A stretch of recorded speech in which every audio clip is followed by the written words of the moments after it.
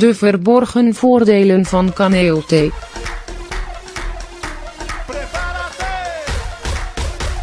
Kaneel is veel meer dan alleen een heerlijke toevoeging aan veel desserts.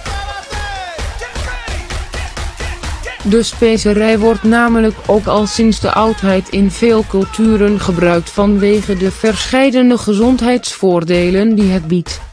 Waaronder het vermogen om het lichaam te ontgiften, de bloedsuikerspiegel te verlagen, gewichtsverlies te bevorderen, de menstruatie te reguleren en indigestie tegen te gaan. Kaneel is een specerij die afkomstig is uit het gebied rondom de kust van de Indische Oceaan. Om preciezer te zijn werd de specerij het eerst gevonden op het eiland Sri Lanka, ten zuiden van Indië. Het bekendste aspect van deze specerij is de heerlijke geur, die ontspannende eigenschappen heeft en vaak gebruikt wordt in verschillende schoonmaak, gezondheids- en schoonheidsproducten. Deze exotische specerij is een rijke bron van magnesium, ijzer, calcium, vezels en vitamines C en B1. Kaneel is erg effectief tegen diarree, indigestie, opgeblazenheid en kan zelfs het immuunsysteem een opkikker geven. Daarnaast kan het worden gebruikt als slijmoplossend middel en als middel om ademhalingsproblemen te verlichten. Doordat kaneel ervoor zorgt dat het lichaam beter in staat is vet te verbranden, kan het ook helpen bij gewichtsverlies. Het heeft een thermogenische werking. Kaneel bevat antioxidanten die het natuurlijke degeneratieproces van cellen kunnen vertragen en de invloed van vrije radicalen kunnen verminderen. De antioxidanten in kaneel kunnen helpen voorkomen dat vet tegen de aderwanden blijft kleven, wat goed is om cardiovasculaire ziekte tegen te gaan. Het drinken van kaneelthee kan helpen het gehalte aan slecht cholesterol onder controle te houden en de bloedsuikerspiegel te reguleren. Het regelmatig consumeren van kaneel verbetert de spijsvertering en elimineert darmgas. Ook kan het helpen bij ondergewicht, omdat het de eetlust vergroot. Kaneel is een krachtig antistollingsmiddel. Dit houdt in dat de specerij voorkomt dat bloedplaatjes meer bloed verzamelen dan normaal. Een studie uitgevoerd door dokter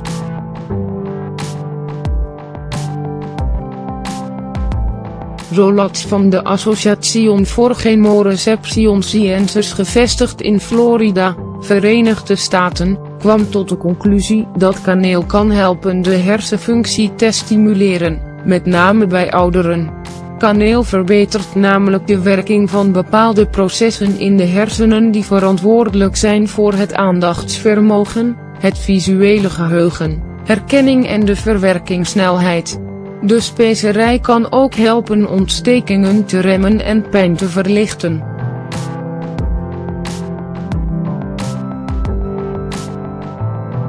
Door deze eigenschappen kan kaneel een positieve invloed hebben op de symptomen van artritis.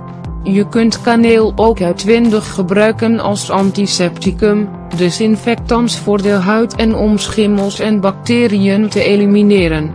Zo kun je er voet- en nagelschimmel mee behandelen als ook mondzweren en vaginale infecties. Zoals misschien al duidelijk is, is kaneel een specerij die ongelooflijk veel uitstekende eigenschappen heeft en die op verschillende manieren in je dagelijkse dieet kunt incorporeren. Een van de beste manieren om kaneel te consumeren is in de vorm van thee. Op deze manier behoudt de specerij namelijk al zijn krachtige bestanddelen, zonder dat deze verstoord worden door andere voedingsmiddelen.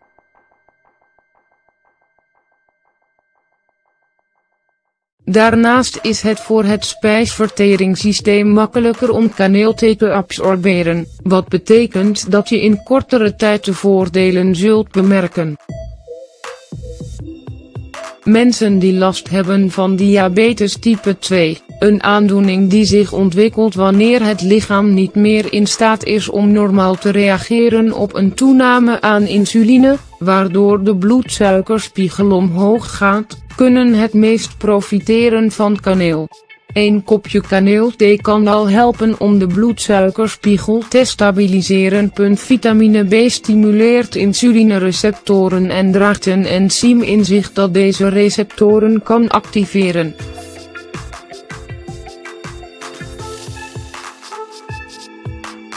Hierdoor zal het lichaam beter in staat zijn om glucose te verwerken. Bij diabetes kun je kaneelthee het beste drinken tijdens het vasten of na maaltijden. Dezelfde eigenschappen die ervoor zorgen dat kaneelthee goed is voor diabetici, maken de thee een handig middel bij gewichtsverlies. Wanneer je meer eet dan je lichaam nodig heeft, zal de alvleesklier dit compenseren door meer insuline aan te maken. Deze extra insuline laat het lichaam weten dat het veel meer energie kan verbruiken. Zodra je echter voldoende energie hebt verbruikt, slaat de insuline alle extra glucose, of suikers, op voor later gebruik. Doordat kaneelthee de bloedsuikerspiegel verlaagt, is er in je hele systeem minder insuline aanwezig en dit zorgt ervoor dat het lichaam minder vet opslaat en dus gewicht verliest. Een van de voordelen van het gebruiken van kaneelthee om af te vallen is dat je al binnen korte tijd resultaat zult zien. Drink simpelweg twee kopjes kaneelthee per dag, een kopje in de ochtend en een in de avond. goed voor de maag. Kaneelthee is ook erg gunstig voor je spijsverteringssysteem. Het vermindert gasvorming in de maag, voorkomt de ontwikkeling van maagzweren en gaat braken en misselijkheid tegen. Over het algemeen zal kaneelthee ervoor zorgen dat je lichaam voedsel beter verteert, doordat kaneel een stimulerende werking heeft op de speeksel- en maagzuurproductie. Eveneens is kaneel in staat om diarree op natuurlijke wijze te controleren en je darmritme te reguleren. Hierdoor is kaneel een aanrader voor iedereen die last heeft van het prikkelbare darmsyndroom. De specerij helpt ook bij het voorkomen van darmontsteking en kan de eetlust opwekken.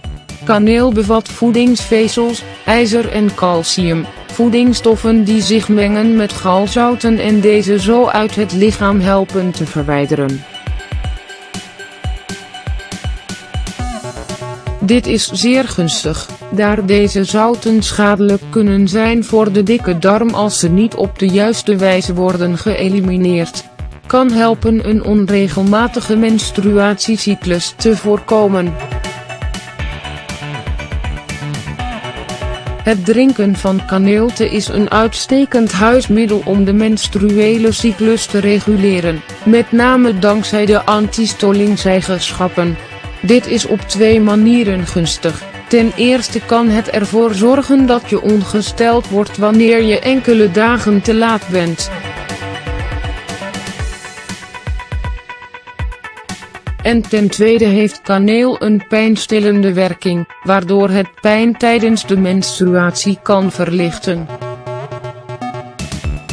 Bewezen is dat kaneelthee slechte cholesterolgehaltes en triglyceriden in het bloed kan verlagen.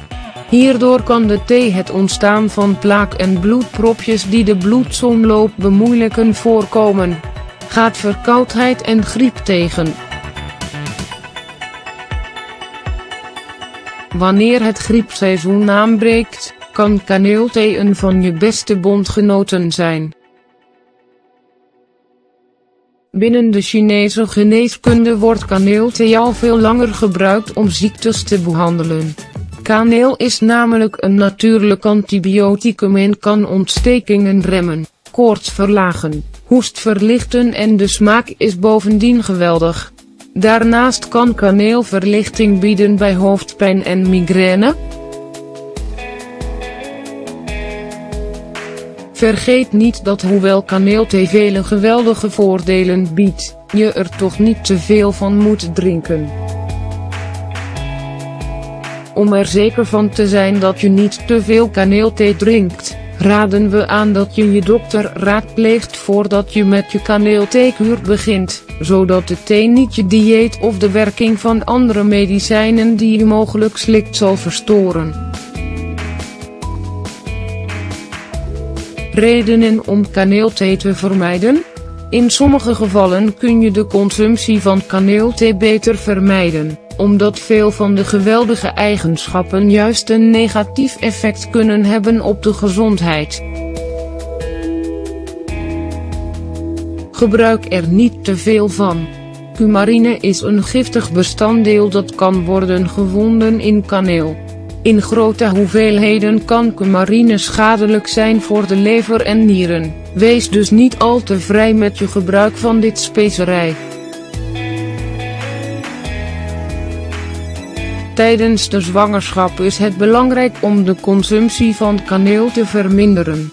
Kaneel stimuleert namelijk de circulatie en kan ervoor zorgen dat de baarmoeder samentrekt.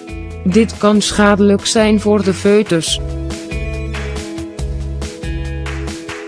Zo ook zouden vrouwen die borstvoeding geven kaneel moeten vermijden, aangezien een consumptie van kaneel ervoor kan zorgen dat de baby een allergie ontwikkelt. Vermijd kaneel als je last hebt van zweren. Als je last hebt van zweren in de maag of darmen, dan zal het consumeren van kaneel deze zweren alleen maar meer irriteren. In deze gevallen kun je kaneel dus beter helemaal vermijden. Wees voorzichtig met je hart. Kaneel is in staat de hartslag enigszins te verhogen. Om deze reden zouden mensen die last hebben van hartaandoeningen geen kaneelthee moeten drinken. Doe je dit wel, dan kan de hartslag omhoog gaan en kun je je gezondheid in gevaar brengen. Combineer kaneel niet met antibiotica.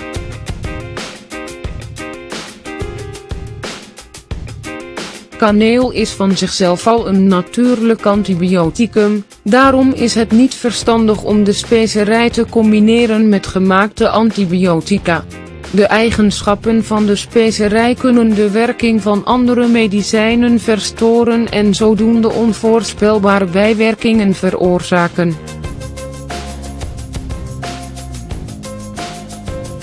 Vermijd de consumptie van kaneel dus altijd als je een voorgeschreven antibioticum slikt. Kaneelthee om af te vallen. Het is zeer eenvoudig om kaneelthee te maken om te helpen bij het afvallen. Dit is wat je nodig hebt.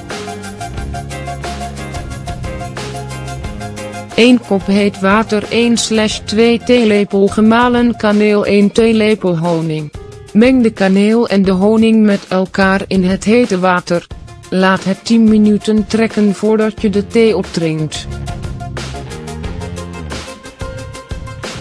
Kaneelthee voor de menstruatie.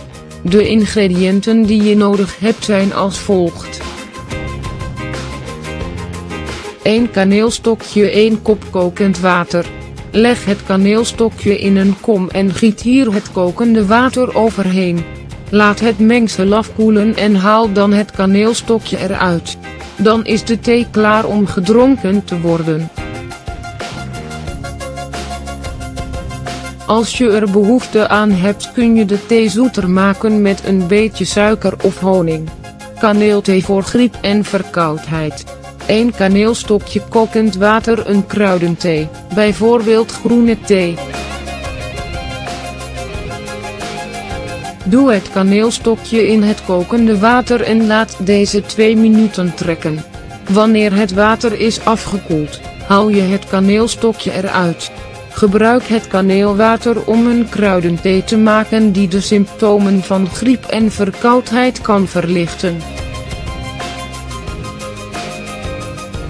Het maakt niet uit welke kruidenthee je hiervoor gebruikt.